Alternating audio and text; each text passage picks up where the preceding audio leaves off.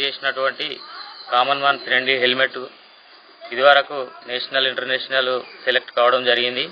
ఎన్నో బహుమతులను గెలుపొందడం జరిగింది.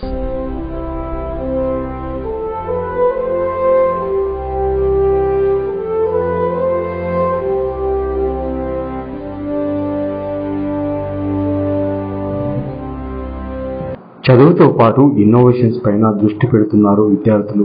చిట్టి చిట్టి బుర్రలతో పెద్దగా ఆలోచన చేస్తూ ఇన్నోవేటివ్ ప్రాజెక్టులు చేస్తున్నారు.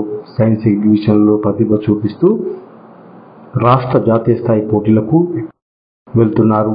ఇటీవల పెద్దపల్లి జిల్లా దుబ్బపల్లి గ్రామానికి చెందిన అర్చిత అనే అమ్మాయి తాను తయారు చేసిన common man friendly multiple helmet రాష్ట్ర జాతీయ స్థాయి అవార్డులను సొంతం చేసుకున్నాయి. రాష్ట్రపతి ప్రశంసలు కూడా అందాయి. అలాగే పిఎం నేషనల్ ఇన్నోవేషన్స్లో కూడా తన ప్రతిభను ప్రదర్శించే అవకాశాన్ని పొంది తన ప్రతిభను చాటి అవార్డులను సొంతం చేసుకుంది. ఇక అక్టోబర్లో జపాన్లో మూడు రోజుల పాటు జరిగే అంతర్జాతీయ స్థాయి వైజ్ఞానిక సుకూర ఇన్నోవేషన్స్కు హర్షిత చేసిన కామన్ మ్యాన్ మల్టిపుల్ హెల్మెట్ ఎంపికైంది. అంతర్జాతీయ స్థాయికి హర్షిత చేసిన ఇన్నోవేషన్ ఎంపిక కావడం పట్ల వారి కుటుంబ సభ్యులు ఆనందాన్ని వ్యక్తం చేస్తున్నారు. జపాన్లో జరిగే అంతర్జాతీయ వైజ్ఞానిక ప్రదర్శనకు హర్షిత సిద్ధమవుతుంది. నా పేరు హర్షిత. నేను దుబ్బపల్లి గ్రామంలో ఉంటున్నాను.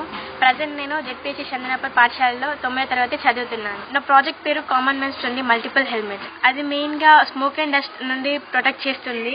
నార్మల్గా వెల్డర్స్కి కార్పెంటర్స్కి పని చేస్తున్నప్పుడు స్మోక్ అండ్ డస్ట్ రిలీజ్ అవుతుంది.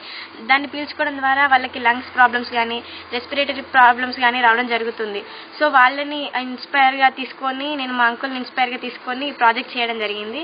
ఇది చాలా యూస్ఫుల్గా ఇప్పుడు ప్రజెంట్ ఉన్న ప్రాజెక్ట్ని ఫ్యూచర్లో ఒక మంచి స్టేజ్కి తీసుకెళ్ళిన తర్వాత నెక్స్ట్ ఇట్లాంటివి కూడా చేయాలని అనుకుంటున్నాను. కామన్ మెన్ ఫ్రెండ్లీ హెల్మెట్ మానవాళి మృగరకు పనిచేస్తుంది. ఎక్కువగా దుమ్ము ధూళిలో పనిచేసే వారికి రైతులకు కూలీలకు వెల్డింగ్ పనిచేసే వారికి కార్మికులకు ఉపయోగపడుతుంది. ఈ హెల్మెట్ పెట్టుకొని పెట్టుకుంటే దుమ్ము దరికి రాదు.